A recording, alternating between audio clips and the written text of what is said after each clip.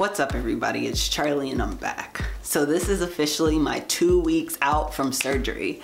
I'm so freaking excited, but at the same time, I've had hesitations. It's like now that I'm here, I'm in such a state of disbelief that I'm doubting the work that I did to get here. Maybe I don't need medical intervention. I don't know. At the end of the day, I've been forgetting and doubting my journey. I kind of wanted to record this today to remind myself that the reason you're here is because of persistence. And one of the things that we always talk about is that verse that says, ask and it will be given to you.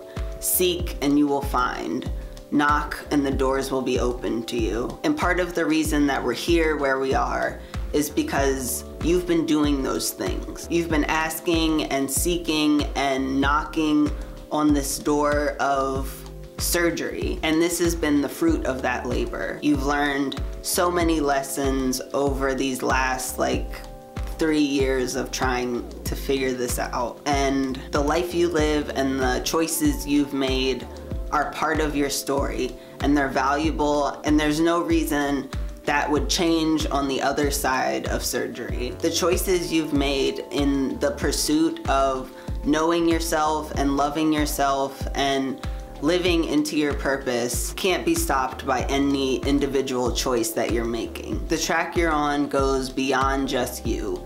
It's for the beloved community. It's for the communities that I love. Black people, trans people, disabled people. Those communities all need representation from someone like me. I know I've benefited so much from other people telling their stories and I really want to do that and help other people decide to make that choice or not for themselves. Of course, there's other content that I'm gonna make because like I said, I'm also black and disabled and trans is not all of my life. So that stuff will still be coming but I also want to add more stuff about kind of where I am with recovery for surgery and why I made the decisions that I made and kind of all of the stuff that would have been helpful for me to know. So if you folks have any questions about surgery or general trans stuff or the intersections of black, trans, and disabled or uh, I don't know, any combination of questions that you guys might have, put them down in the comments and over these next few, like I guess it's not a few months, however long I decide to talk about this, I'll answer those questions. So yeah, I think that's pretty much what I have for this week. Um, I'll see you guys on the other side. Deuce.